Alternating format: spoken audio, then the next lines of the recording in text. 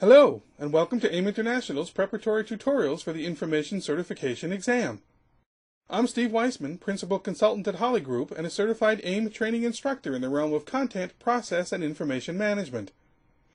I'll be your guide as we review the exam's major domains of expertise, and I'll tell you all you need to know to earn that passing grade.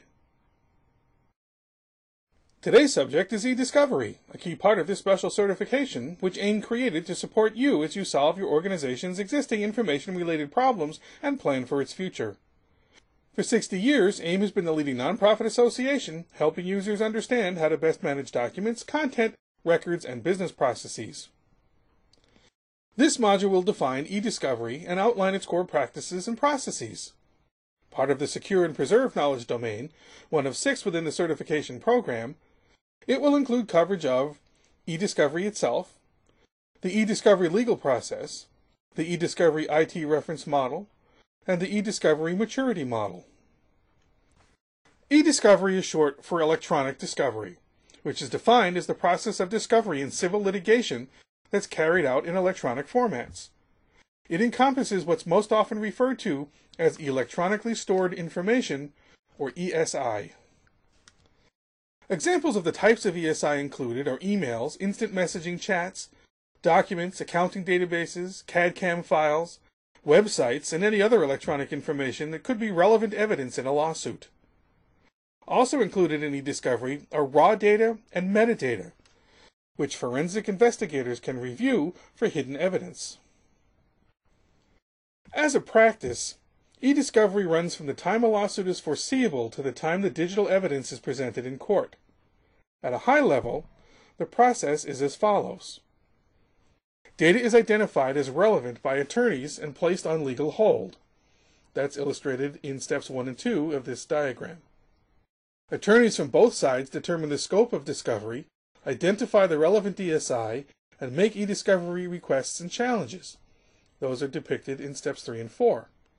Search parameters can be negotiated with an opposing counsel or auditor to identify what's being searched and to ensure needed evidence is identified and non-evidence is screened out, thereby reducing the overall effort required to search, review, and produce it. Evidence is then extracted and analyzed using digital forensic procedures and is usually converted into PDF or TIFF form for use in court, illustrated here in steps 5 through 8. It often can be advantageous to use pattern and trend identification and other analytical search techniques so that these tasks can be performed more efficiently and make less use of expensive human resources. Here's another take on the same subject, this time from the IT perspective. It's the Electronic Discovery Reference Model, and it's the industry standard for such things, and it consists of nine steps that we'll walk through quickly here. The first two stages are information management and identification. These involve getting your electronic house in order so you can mitigate risk and expenses should e-discovery become an issue anywhere from the initial creation of electronically stored information through its final disposition. For example, accurate, well-managed metadata means faster searching, as well as defensible audit trails and improved security and access controls. The better the information management practices, the less data there will be to sift through, including records past the retention date untracked copies of documents, and misclassified documents. Next come preservation and collection, to ensure that ESI is protected against inappropriate alteration or destruction and can be gathered for further use in the e-discovery process. The fourth segment involves processing, review, and analysis. These steps are aimed at reducing the volume of ESI and converting it, if necessary, to forms more suitable for review and analysis, evaluating it for relevance and privilege, and evaluating it for content and context, including key patterns, topics, people, and discussions. Last, but by no means least, come production and presentation. These are engaged in delivering ESI to others in appropriate forms and using appropriate delivery mechanisms, as well as displaying ESI before audiences at depositions, hearings, trials, and so forth, especially in native and near native forms to elicit further information, validate existing facts or positions, or persuade an audience.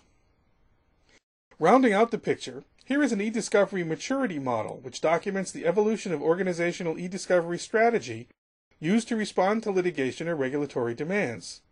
It has the standard five levels that range from ad hoc and chaotic at the early stages to degrees of optimizing at the more mature stages. Besides gauging the different levels of process maturity, movement through the levels also represents the acceptance and incorporation of e-discovery as a necessary business process. This module has taken us on a tour of electronic discovery, which includes e-discovery's definition, the e-discovery legal process, the e-discovery IT reference model, and the e-discovery maturity model. With this information now locked into your memory banks, you may next wish to review the module on e-discovery web capture, authentication, and costs. The material you have just reviewed is part of a broader program of study that prepares you to take the Information Certification exam. This proctored test consists of 100 multiple choice questions and is delivered electronically by Prometric. You'll have two hours to complete it, and upon passing, you'll earn a professional certification that's valid for three years. For more information, please visit www.aiim.org certification. Thank you.